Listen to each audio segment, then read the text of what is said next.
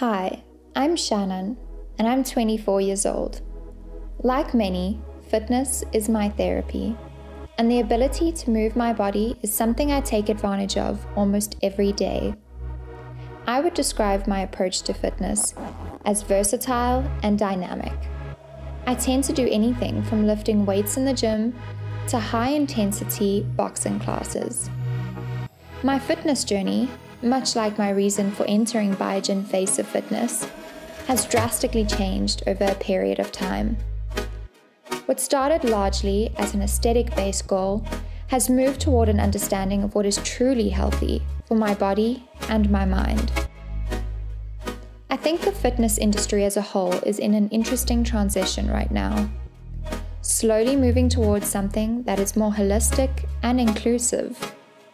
The truth is, there is no lack of inspirational athletes in the industry.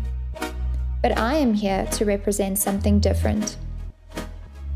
I'm here for the everyday girls and women, the ones who work the 9 to 5 and still choose to show up for themselves, the ones who might not always know the best way to achieve their goals, but try regardless the ones who might not always get it right, but are determined either way.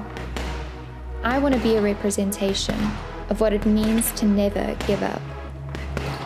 In reality, there will always be someone faster, stronger, and better out there. But I'm here to tell you that that does nothing to diminish your value. You're worthy of allowing yourself to be the best version of yourself.